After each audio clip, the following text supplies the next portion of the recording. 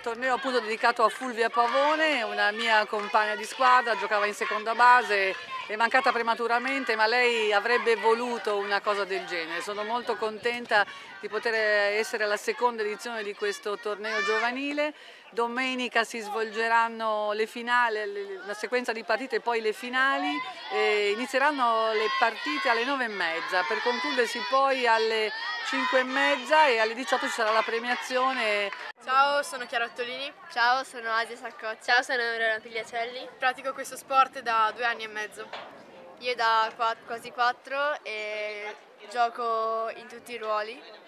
E io invece pratico questo sport da quattro anni e il mio ruolo pre eh, che preferisco è il prima base, che è anche il ruolo in cui gioco. Lo pratichiamo perché è uno sport che unisce ed è indispensabile l'aiuto di tutti per poter dare il proprio meglio.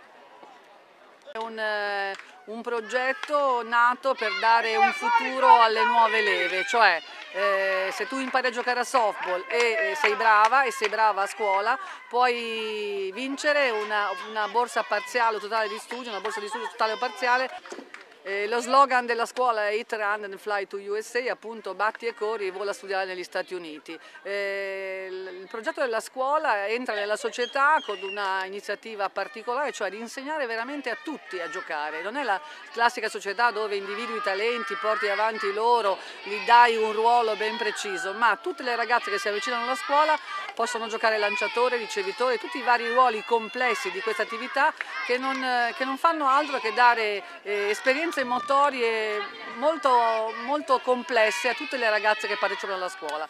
Poi ovviamente qua siamo in un posto dove non c'è l'università e le ragazze crescendo vanno poi nei, nei loro lidi di università e dove se hanno coltivato questa passione possono continuare.